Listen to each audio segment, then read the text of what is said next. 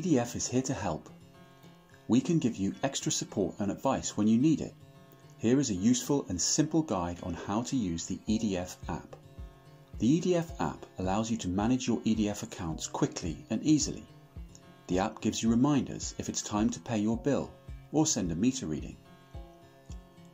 Through the app you can send us your meter readings or take a picture of your meter so we can do it for you.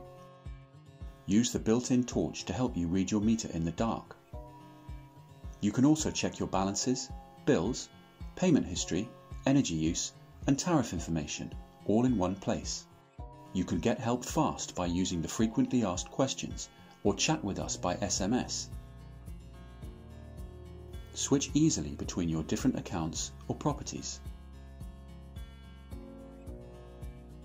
The EDF app is available to download from the Apple App Store and Google Play.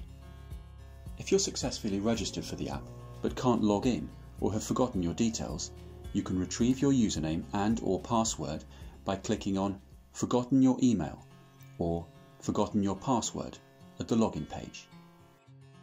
Thank you.